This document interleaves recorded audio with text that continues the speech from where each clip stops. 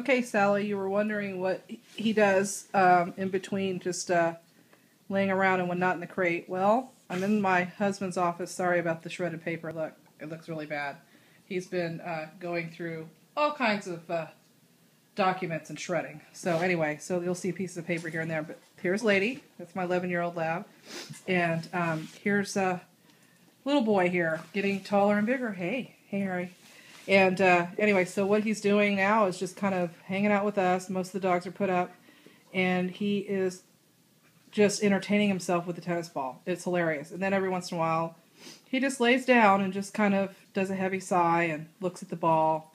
And I think he wants to kind of sleep, but then he realizes there's a ball in front of me. So anyway, this is pretty much what he does. He's followed me into the office and. Uh, for a second, he was laying down at my feet. I thought, oh, I'll get a picture. But then as soon as he heard me moving around, he got up and started playing with the ball again. See, look, there he goes. So he's like, okay, I'm going to play. So I just thought I would see how he just pushed it with his nose.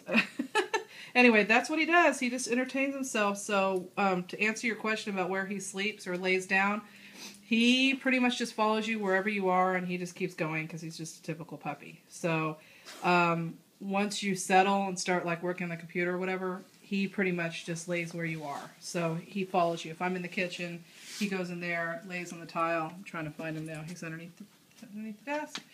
So anyway, um, yeah, go ahead and eat the little piece of paper. so yeah, see, he's typical curious boy. But um, I just thought I'd let you see what he's doing now that most of the dogs are put up and it's kind of quiet. And we're getting ready to leave to go get his health certificate done. So um, it's a good thing he's not sleeping because I'd have to get him up anyway.